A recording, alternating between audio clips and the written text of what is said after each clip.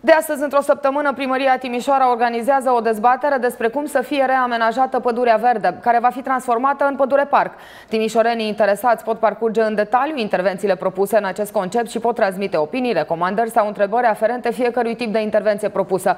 Autoritățile spun că în pădure vor exista spații de promenade, de informare sau pentru sport, dar vor fi păstrate și multe zone nealterate pentru ca biodiversitatea pădurii să nu fie afectată.